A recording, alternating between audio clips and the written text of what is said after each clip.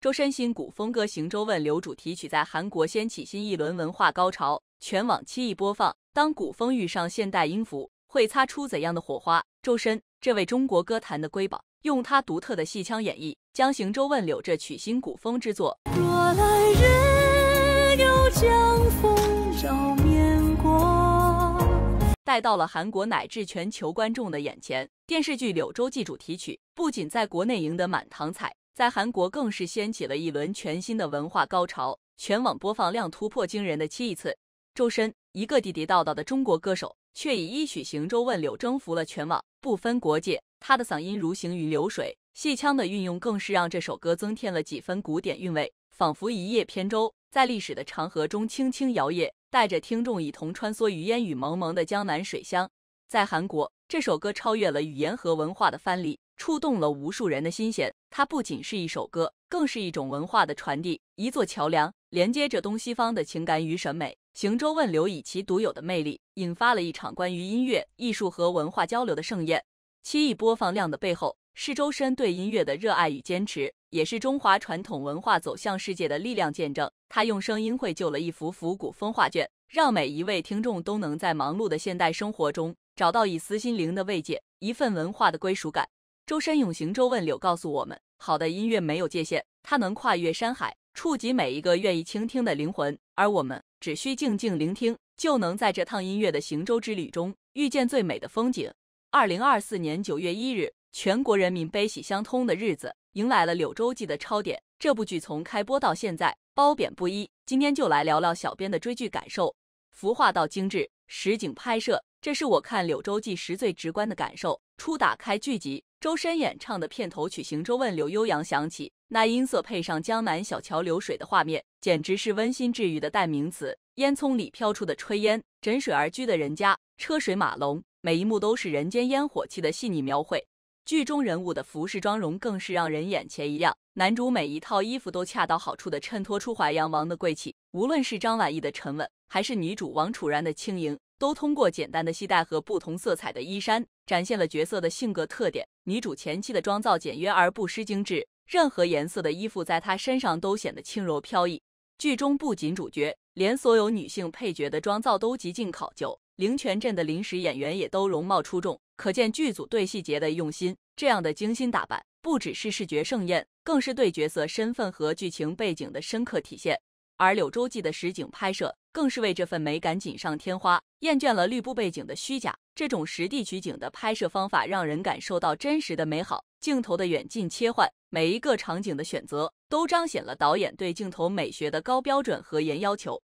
小伙伴们，如果你对这种将古风与现代审美结合的尝试感兴趣，真的不能错过《柳州记》。它不仅是视听的享受，更是一场穿越时空的文化之旅。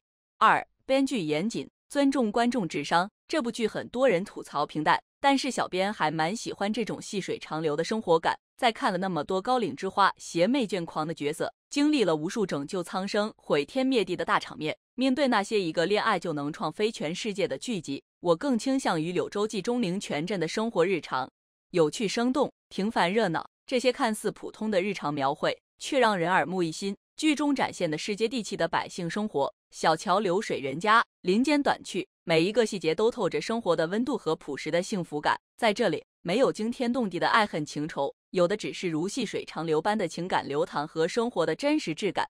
这样的叙事方式或许不够轰轰烈烈，但它却以一种几乎能触碰到的真实，让人心生共鸣。仿佛自己也身处于那个热闹非凡的小镇，与剧中的人物一同呼吸，共度每一个平凡而又不平凡的日常。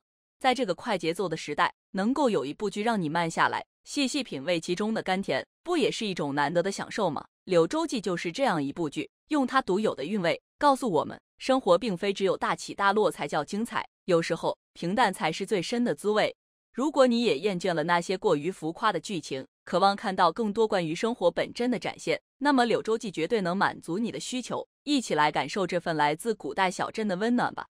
而且这个剧真的很反套路，男扮女装能被看出来，嘴里塞块不可以吐出来，酒和药都不乱性，撒下来的网，主角可以用兵器破网而出。另外，吹爆《柳州记》的大婚，每个细节都拍得很细腻，女主脱单的狂欢，男主的期待紧张，女主家人的千里送亲。贺真的五根红绳让我梦回唐伯虎点秋香，小编像是一个随了份子去吃席的自家亲友，完全让人沉浸式体验了一把美轮美奂的古装婚宴剧本杀。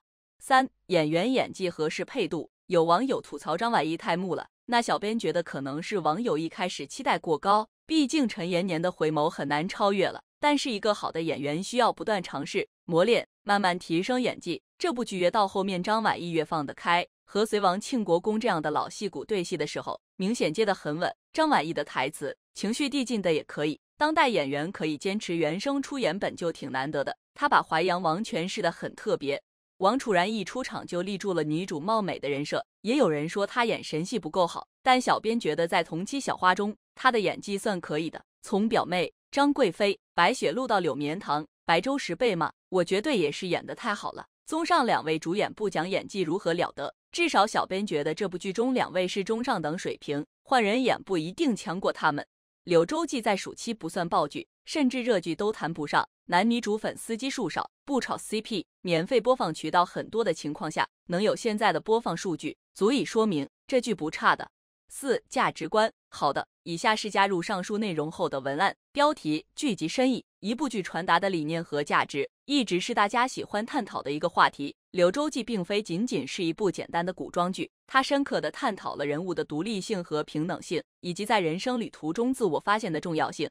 在《柳州记》的世界里，每个角色都是清醒而独立的，女性角色不依附于男性，她们拥有安身立命的能力，无论是智力或武功，都有各自的过人之处。男子对女子的尊重不仅仅停留在口头上，而是通过实际行动来表现。无论是在关键时刻的支持，还是在平日的相互尊重和信任上，剧中的人物教导我们：只有找到真正的自己，才能明白自己需要什么样式的伴侣，什么样的生活方式。每个人的底气都来自于自身的确认与价值的实现。只有在彼此旗鼓相当的基础上，才能随性洒脱、恣意妄为，追求心中所爱。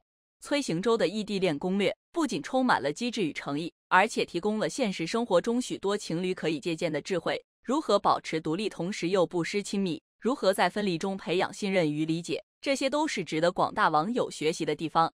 而灵泉镇的夫妻日常更是一本婚姻修炼手册，他们展示了夫妻之间如何在平凡的生活中彼此扶持。如何处理日常的小吵小闹而不影响彼此的深情？正所谓既是夫妻，我们本就是天底下最不怕麻烦彼此的人。